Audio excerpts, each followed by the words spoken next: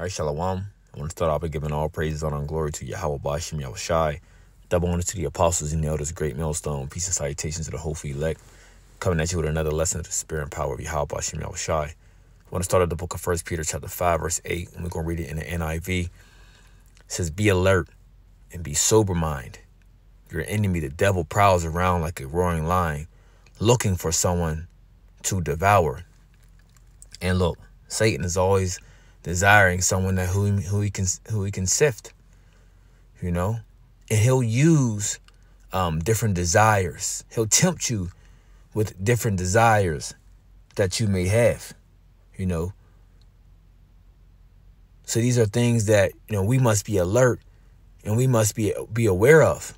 You know, even people, certain people that you keep around you, uh, the different energy that they may carry. You know, their energy, you know, may not line up with your energy, so to speak. Right? You know, this is just a lesson, just, you know, through the spirit of, you know, being mindful of different things. Okay? And one of the main things of us being in this truth, especially in this time, is but being alert. All right? Being alert and of a sober mind. You know, because everything, when you look at everything in this world today, you know, it, it is all to, it is all uh, uh, systematically to what? To trap, to distract Jake. Okay?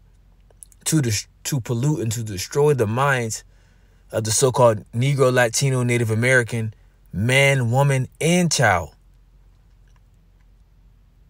And how this devil is attacking us and be- like before, you know, how he's attacking us, you know, a lot of it was on a physical level. You know, like how he had Jake, uh, how he grabbed us up and uh, uh put us, you know, uh, and how he grabbed us up and threw us on the ships, and you know how he took over our lands, and you know, or what I mean is how he grabbed uh, the Southern Kingdom from uh, West Africa, you know, the Northern Kingdom over here in the Americas, and he physically, you know, enslaved them. But now when you see it, Jake is no, no longer in physical bondage. Now they are what? They're in a mental, they're in a spiritual bondage. You know, and there's an all-out attack on the Israelites. A spiritual attack that Jake can't even see. But see, we in the truth, we see. Right? We have been given the eyes out. We have been given the eyes to see. We have been given the ears to hear. So there's particular different things, you know, of we're already aware of via, you know, uh, the spirit of Yahweh Shim Shah upon us. Let's get this real fast. Let's jump to the book of Ephesians, chapter 6. And, you know, I'm just going through the spirit, you know. The book of Ephesians, chapter 6, verse 12, it says, and I'm reading the KJV, for we wrestle not against flesh and blood, but against principalities, against powers, against rulers of darkness of this world, against spiritual wickedness in high places. And this is our bat. This is what our battle is against. We're fighting against spiritual wickedness in high places. You know, and not only that, we're battling against what? We're battling against our flesh. We're battling against our our our, uh, our fleshly desires, our our fleshly lust. Okay?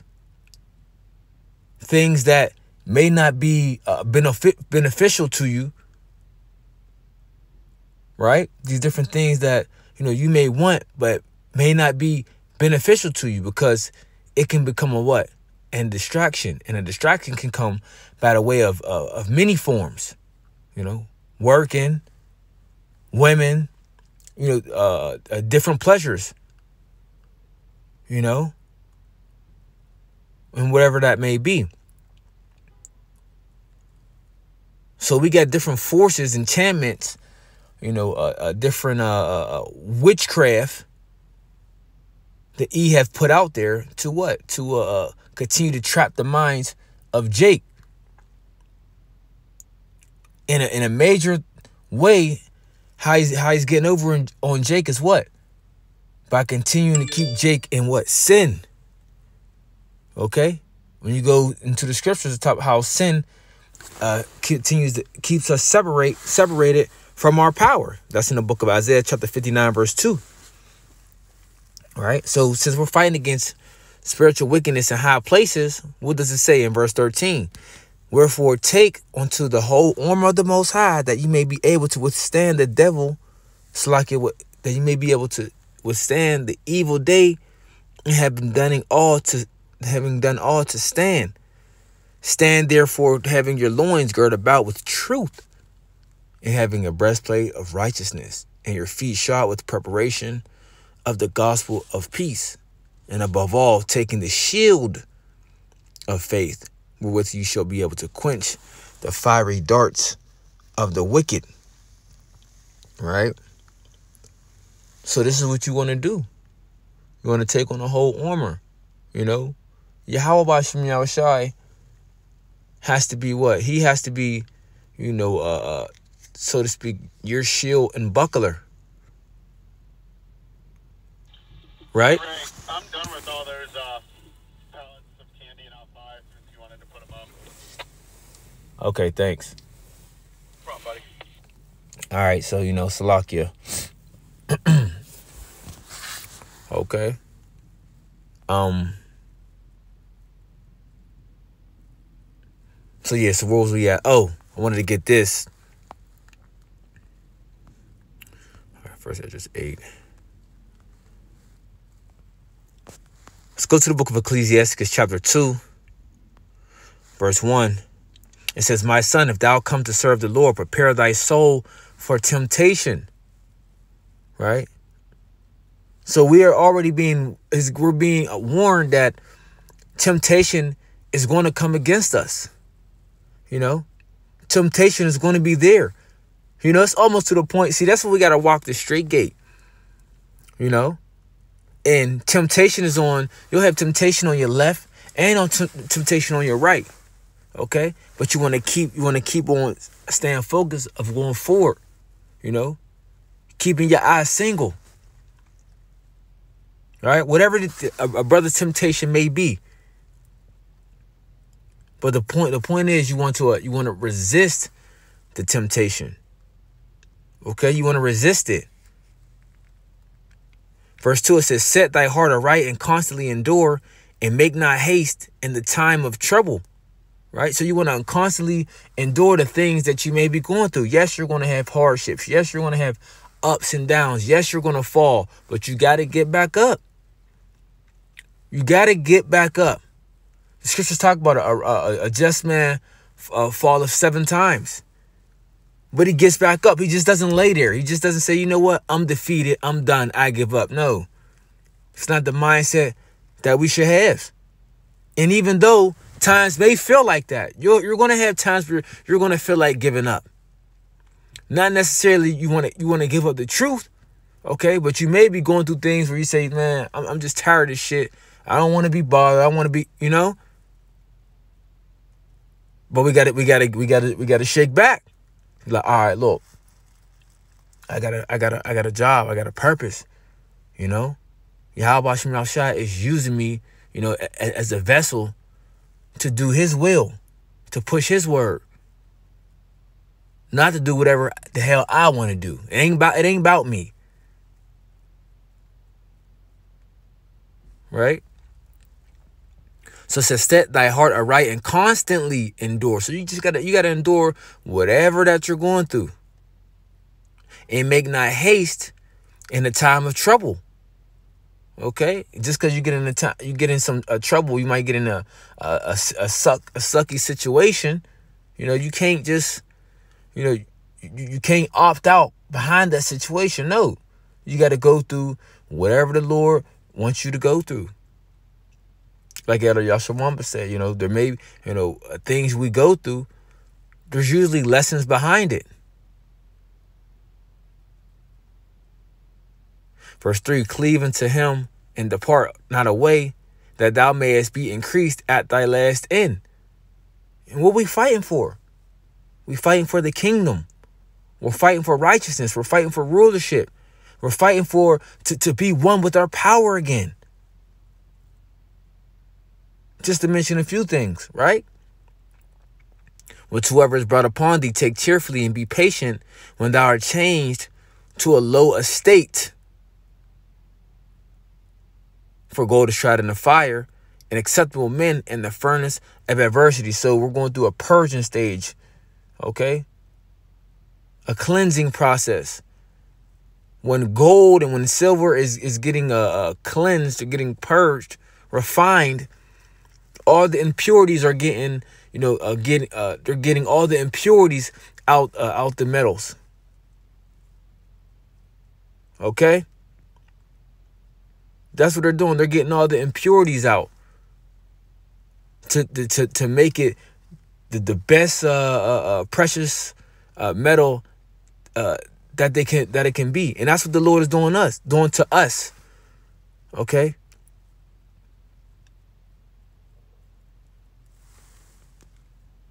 So I got that. Um, so talking about being sober, talking about you know, uh, uh you know, uh, you know how I'm saying being alert, because ultimately we got to we want to try to serve the Lord, you know, without many distractions, and sometimes you can bring different distractions upon yourself. Maybe maybe it could be something that you may be desiring desire, you know. And the Lord can the Lord can do whatever he wants. So he can either, you know, hold it back from you because he knows to say, you know what, my son, I know this ain't good for you. I although you want it, I know it ain't good for you. So guess what? I'm not gonna give it to you.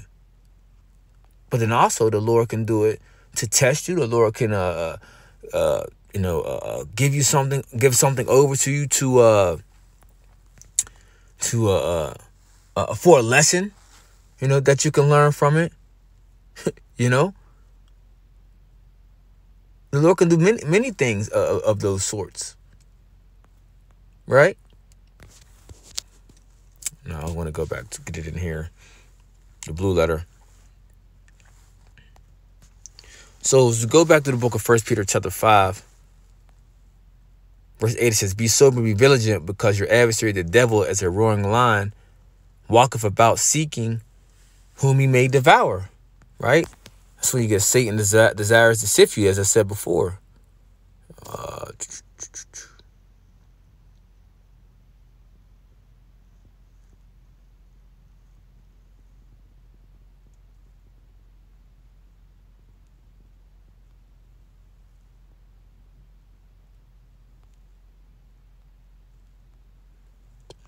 where is that at? Uh,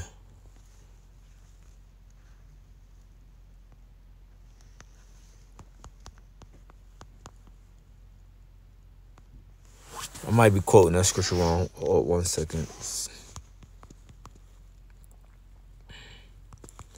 Desire. Oh, here it go.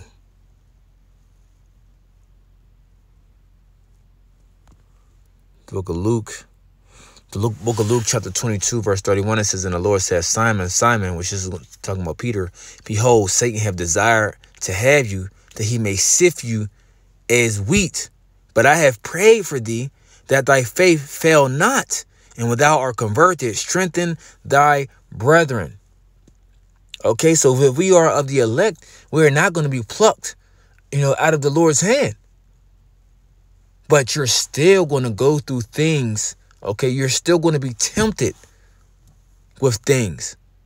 And these things, what? We must resist because we don't know if we're of the elect. So we're of the hopeful elect, okay? So we want to overcome the devil.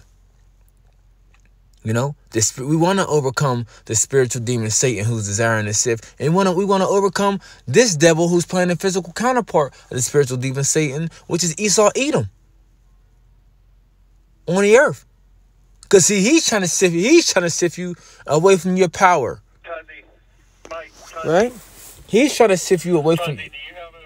He's trying to sift you away from your power. What he's right, what he's trying to establish in the world is this whole MOTB system.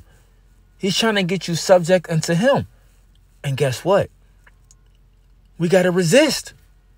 We gotta resist. Should we have it's gonna get our our our faith is gonna be tested. Whereas we're going to have to separate a hundred percent A hundred percent because this devil is out to destroy us.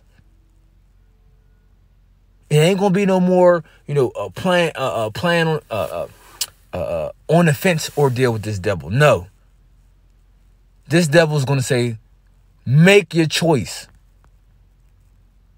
and we need to know now. You getting down with us, or you getting down with your God? You see what I'm saying? But all these things that's, that's going to come upon us, we must what? We must endure. But before we get to, you know, the nitty and gritty of these different things which are about to come upon us, we already want to prepare our minds of these different, uh, uh, uh, the different things that are in the way, are distracting us, you know, uh, different things that's, uh, you know, uh, uh, keeping us to, to be the best of ourselves that we must start getting rid of these things now. You know, we want to start getting rid of these things now. So when these things do come upon us, you know, uh, they're they're somewhat, you know, uh, somewhat to a form of, uh, in a mind already dealt with to say, shit, I don't, you know, I don't, I don't care about that. I don't need that. That ain't, you know. So I mean, this was just a quick hit through the spirit. I may do a part two of, you know, hey, you know, brothers and sisters, because you know, hey, we we in this faith, we gotta get, we gotta endure, we gotta continue. We got we got let the scripture say we gotta fight the good fight of faith.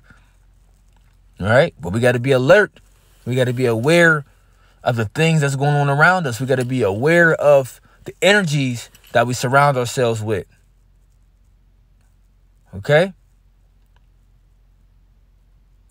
We got to be mindful of these different things. So, Lord willing, I hope was edifying. Uh, I'll do another uh, lesson uh, as soon as I can, Lord's will. Until next time, I want to say shalom.